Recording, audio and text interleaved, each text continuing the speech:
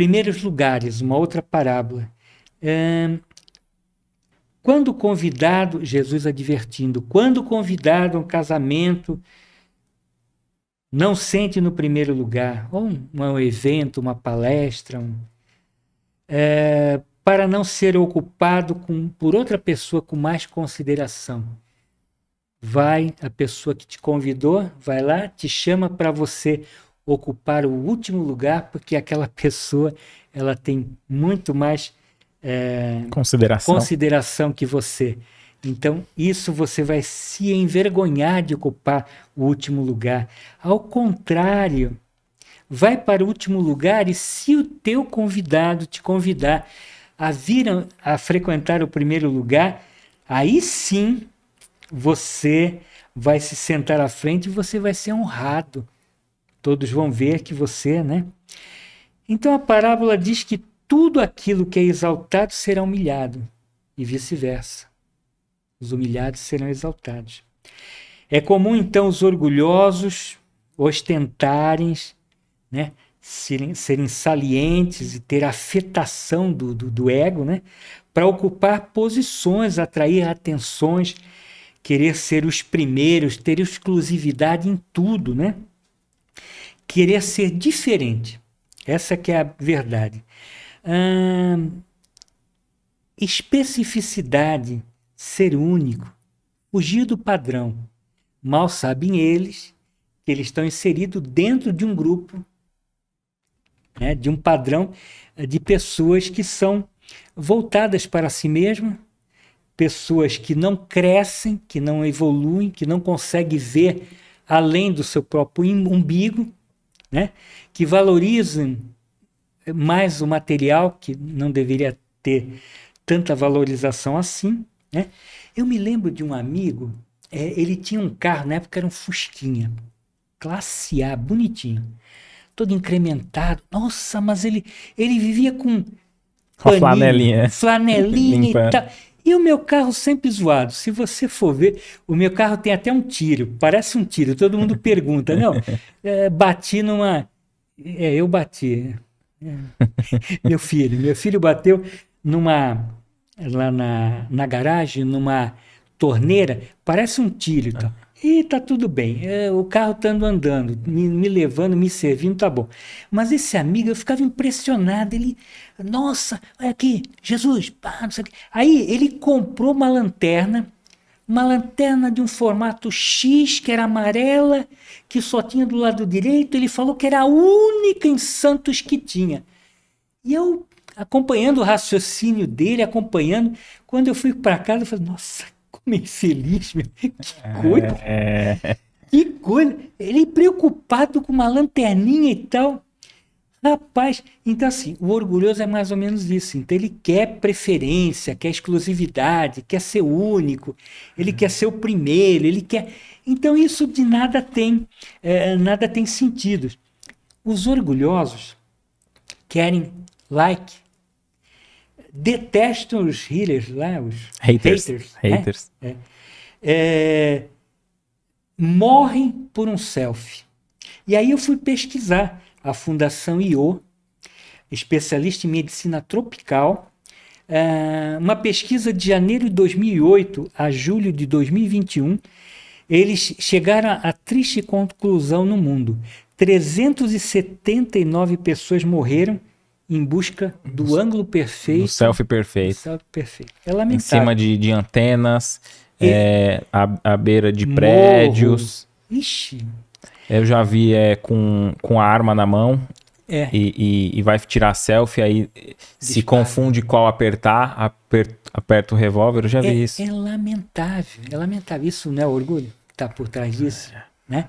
Eu quero que as pessoas me reconheçam, me valorizem, que é, percebam. Que... Tem, tem um livro do Augusto Cury que ele, ele relata, né, o, o Marco Polo e uns personagens lá na que ele quer o topo, ele da revista Forbes, né? Então a vida, quer dizer, é uma vida pobre. Exatamente. O é. cara tem bilhões, tá lá, fala não, mas eu, eu quero ser o primeiro. Eu quero ser o primeiro do meu país. Aí ele tá, bom, conseguiu. Eu é. sou o primeiro do meu país é. mais rico da revista é. Forbes. Ah, Aí ele se frustra, porque ele é o primeiro só do país, ele não é o do mundo. Uhum. Aí ele é sempre a, a felicidade para o futuro. Não tem limite. É. Não tem limite. É. Uhum. é. Então, a foto, a, a melhor, a mais difícil, aquela que ninguém fez. É, o indivíduo foge do padrão comum. E, como eu falei, ele se torna um grupo de pessoas bizarra, diferente, é, estatisticamente triste, né? É, pela inconsequência, né? É, e é uma estatística triste, né? E, e, e, aí eu me lembrei que normalmente a gente só acredita nas estatísticas quando a gente faz parte delas, né? É. Via de regra. Ou quando a gente colabora para que os nossos familiares passem a acreditar. Sim, sim. que a gente não está mais aqui. Verdade. É, Jesus, em algumas reuniões, ensinou os discípulos a, a estudar o caráter, a psicologia das pessoas, né? É, de que mesmo convidado nos primeiros lugares fosse humilde e reconhecesse, né?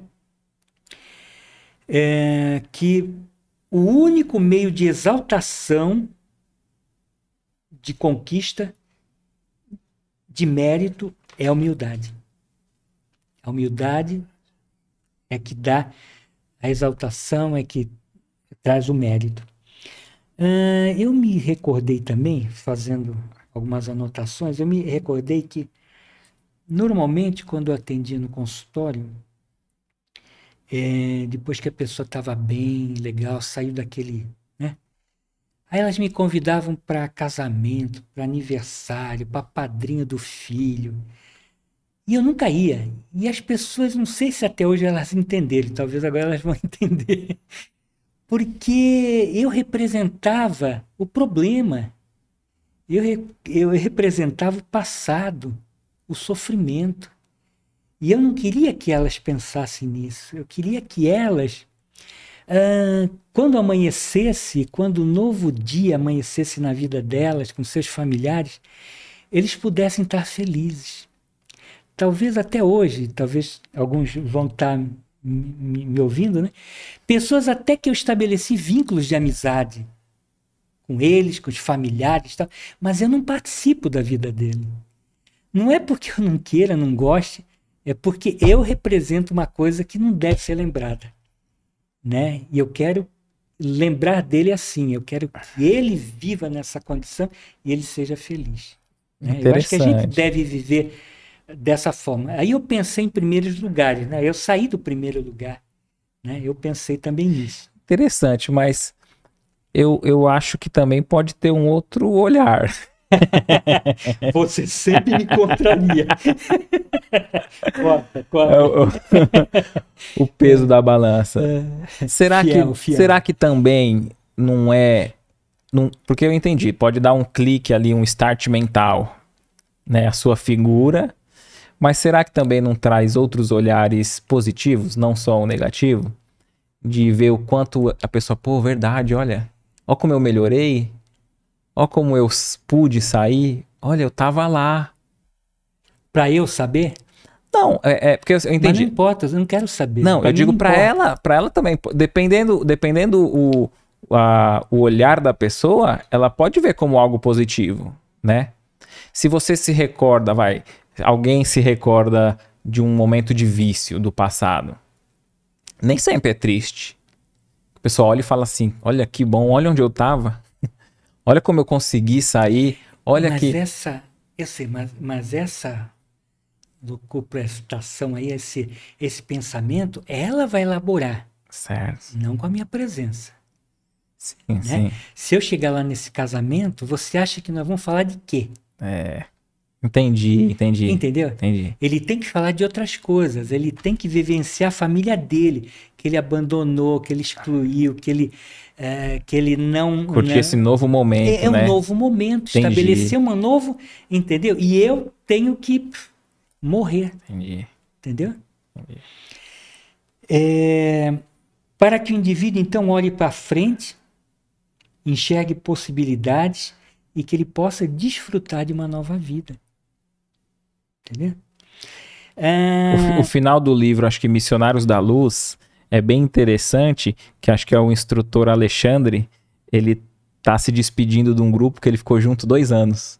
E eles estão com esse sentimento, pô, e agora? Aí é bem interessante o relato que ele dá, que ele fala assim, ó, agora é a hora de vocês, bem dizer assim, tomar cabeçada e, Exato. né, lógico que ele não usou esse linguajar meu, Exato. pobre, né, mas, uhum. mas tipo assim, ó, é, eu tô aqui como alguém que ajudou vocês, instruiu tudo para chegar até aqui, mas é como acho que um pai que tá ensinando a andar de bicicleta, tá empurrando, Exato. tem que soltar uma hora, né? Exato, que nem, que nem o meu netinho, eu empurrando, eu falava, vai, vai, tá com a rodinha. Não tava com a rodinha. É. Aí foi indo, foi indo, entendeu? Então, e, assim, e, vai ralar o joelho. vai ralar, é, é.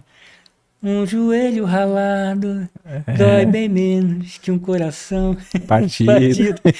Sempre vocês lembrar. Hoje a gente está muito poeta. Sim, sim. É, então, é, essa condição também não é igual, ex exatamente igual ao exemplo, Isso. mas é pertinente, tem é. a ver, claro. É uma outra condição é. da segurança para aquele grupo possa, entendeu? Verdade. O que eu fazia é para que ele não tenha lembrança das coisas que aconteceram, não vamos rememorar passado. Águas passadas não movem moinho. É. Ponto final. Perfeito. Entendeu? Ele tem que olhar para frente. É, e ele precisa, parafraseando Jean-Paul Sartre, que essa era a minha ideia, viver como se fosse o primeiro dia do final de sua vida. E é isso que eu colocava. Entendeu? Para eles vá viver primeiro final das, o, o, primeiro dia do final das suas vidas, entendeu? Acabou. Interessante. E aí eu morri. e aí acabou a história. o que você achou desse corte? Coloca aqui nos comentários a sua opinião sobre esse tema. Para ver o episódio completo, é só pesquisar Recomeçar Podcast Espírita. E caso tenha ficado alguma dúvida sobre a doutrina espírita, é perfeitamente normal. Procure ler as obras de Allan Kardec.